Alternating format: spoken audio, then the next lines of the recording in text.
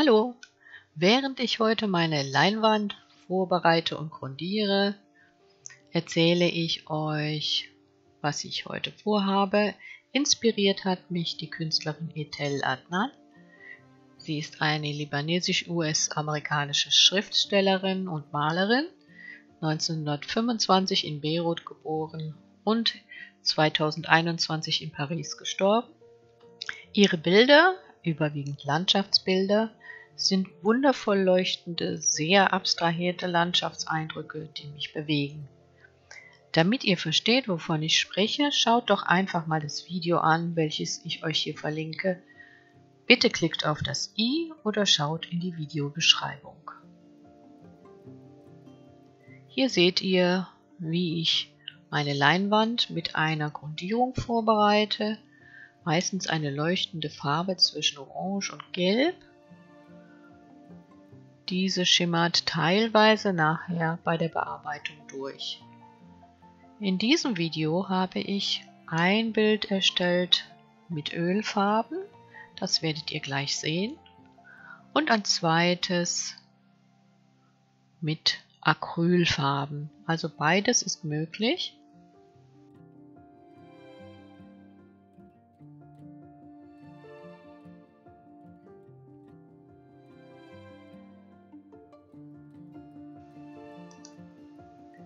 Auf diese Grundierung aus Acrylfarbe kann ich problemlos mit Ölfarbe malen, sobald sie trocken ist.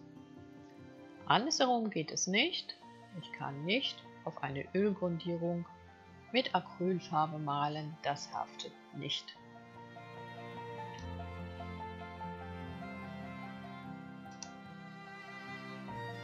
Ja, hier seht ihr meine kleinen Skizzen, die ich gemacht habe von Fotos, entweder selbstgemachte Fotos oder auch aus dem Internet. Ich habe die Formen abstrahiert und eine ganz einfache Landschaft skizziert, einfach mit Linien, die die Fläche in Segmente einteilt. Diese sind vielleicht noch besser geeignet, die sind noch etwas einfacher. Also wenn das Format sehr klein ist, nehmt nicht so viele Segmente und probiert einfach mal auf einem Papier aus, was am besten aussehen könnte. Dieses übertrage ich dann mit Bleistift auf meine getrocknete Oberfläche.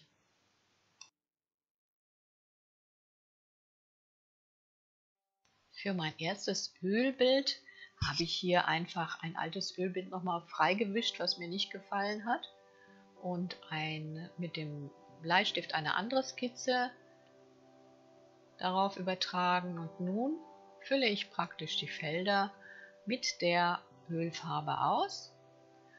Das Schöne bei der Ölfarbe ist, ich kann sie verdünnen mit Malmittel oder mit etwas Terpentin und ich kann wunderbare Verläufe erzielen und Übergänge.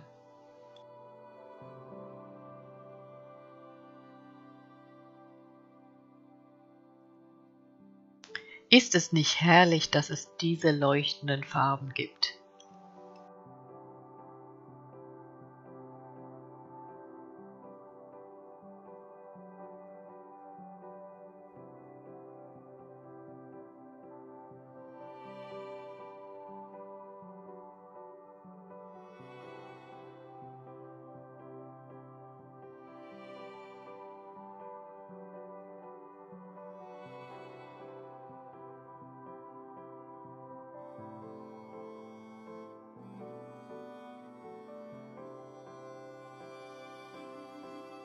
Hier seht ihr, dass ich in die noch feuchte Farbe ohne weiteres eine andere Farbe hineinmischen kann. Also praktisch nass in nass die Farbe auf dem Untergrund noch mischen und die Farben auch aneinander angleichen kann. Das Übermalen ist allerdings schwieriger als bei der Acrylmalerei. Dazu müsste die erste Ölfarbschicht ziemlich gut trocknen. Aber ich male ja hier à la prima, also alles in einer Sitzung. Wenn ihr den Film über Etel Adnan gesehen habt, beziehungsweise ihre Bilder im Film, dann habt ihr auch festgestellt, dass sie sehr wenige reduzierte Flächen auf ihrem Bild hat und dass es auch auf die Wirkung, das Spiel der Farben miteinander ankommt.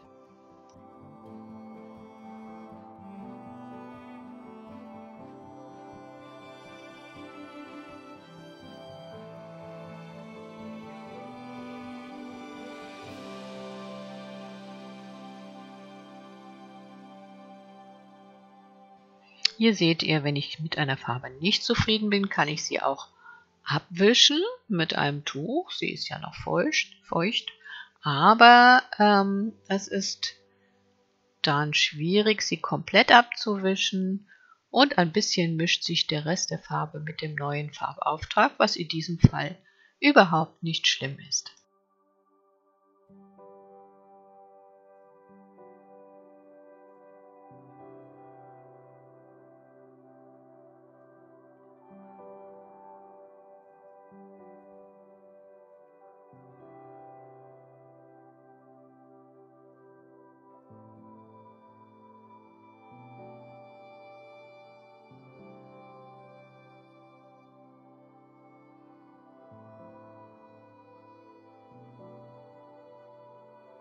Auch hier unten links trage ich einfach auf die feuchte Fläche noch etwas von dem hellen Blau auf und das mischt sich zu einem gebrochenen Grün, was ich, so finde ich, ganz gut ins Bild passt. So, damit wäre mein Bild fast schon fertig und ich bin ganz zufrieden. Die Ölfarbe trocknet jetzt einige Zeit, das muss oxidieren und verharzen, sodass die Farbe dann fest wird. Und dann könnte man sie noch firnissen, was ich allerdings meist nicht tue. Ich habe noch ein weiteres Bild in Ölfarbe gemalt, das zeige ich euch jetzt.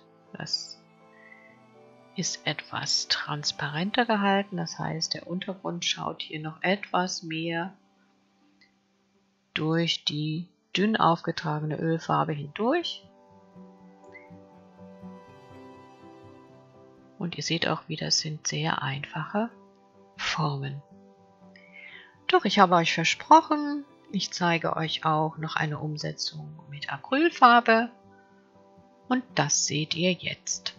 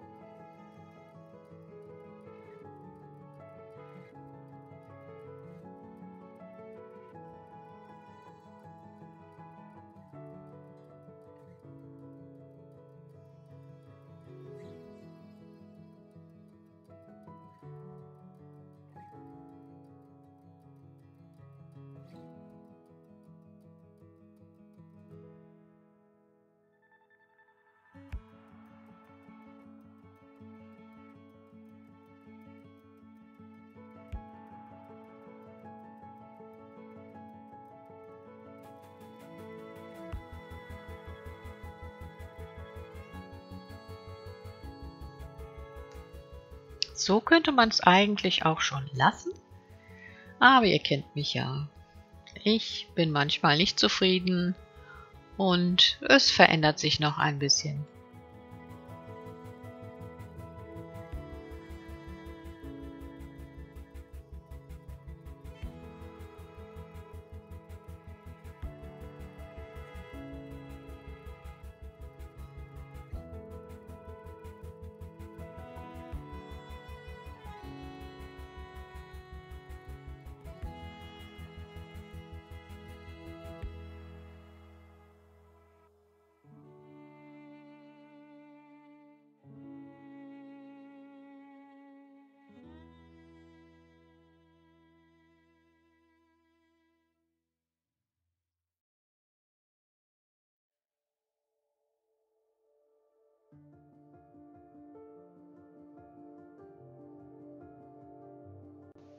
Das ist also die Version in Acrylfarben.